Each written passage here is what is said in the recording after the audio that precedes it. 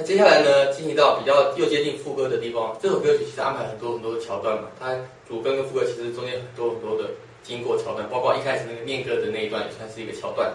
接下来呢，到比较刷和弦的部分喽，世界一直一直变的地方，这时候呢，相对于副歌很强烈的刷弦，这时候我们慢慢来营造一个接近要比较嗨的地的这个节奏的感觉，所以我们一样用刷弦的，但是请特别注意，这时候刷的时候不要刷那么大力，让它的弦。的声音尽量停留在高音，高音听起来比较轻飘飘的感觉，低音会比较重。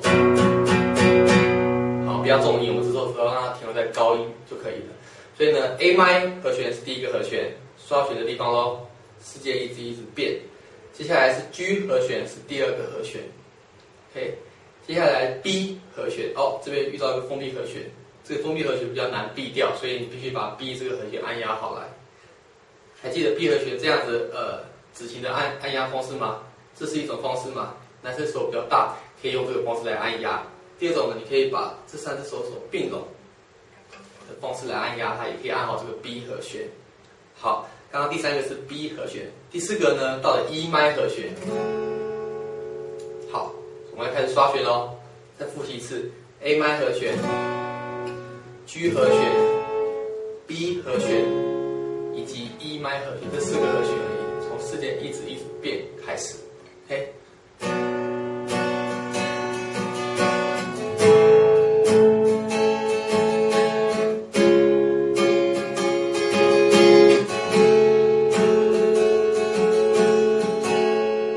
好，这个比较偏，有点像 soul 的这个刷法，看一下怎么样来刷这样的一个节奏。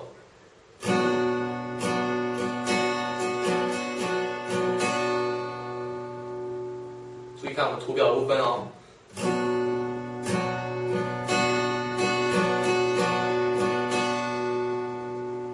，OK 吗？好，然后呢，到第二段的时候呢，一样从 A 麦开始，A 麦，G、C，还有一个五级的和弦叫做 D，就可以准备进行到副歌喽。好，我们在副歌之前把这样一个桥段的这些和弦们串起来试看看。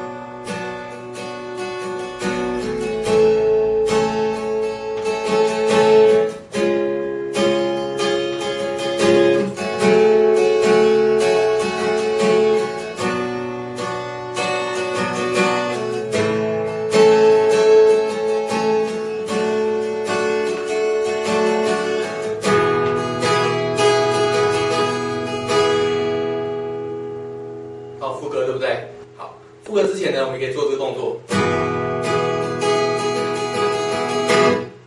做个切音的动作，然后再一个 gliss，滑到副歌。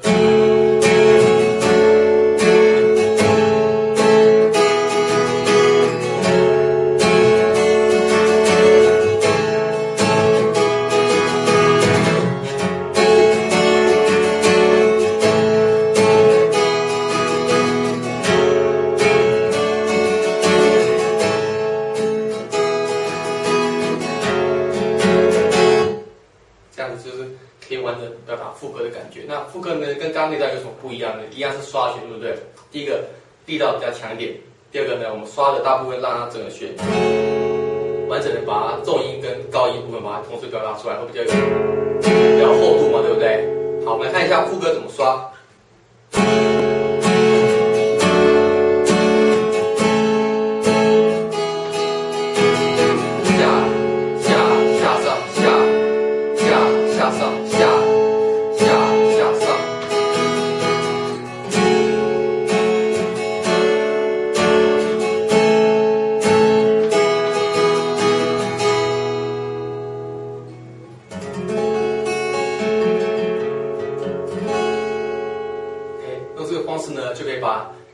呈现比较有力道，而且比较有拍点、重底拍点的副歌，比较 rock 的感觉呈现出来的。OK，这首歌曲呢，就可以用这个方式来好好表达出来。那我们 Let's 稍微再分析一下这首歌曲的不同地方的呈现的方式哦。还记得一开始吗？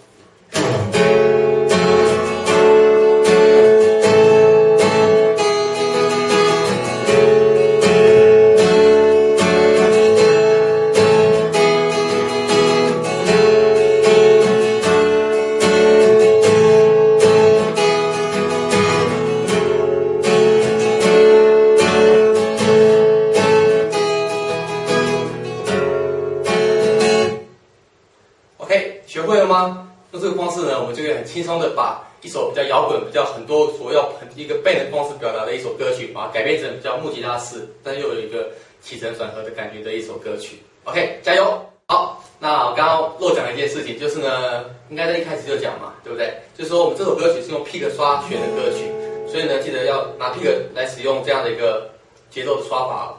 然后第二点呢是 pick 的选择上呢，这首歌曲比较有 punch，比较有力道，所以记得用硬一点的皮革来刷。好，补充完毕。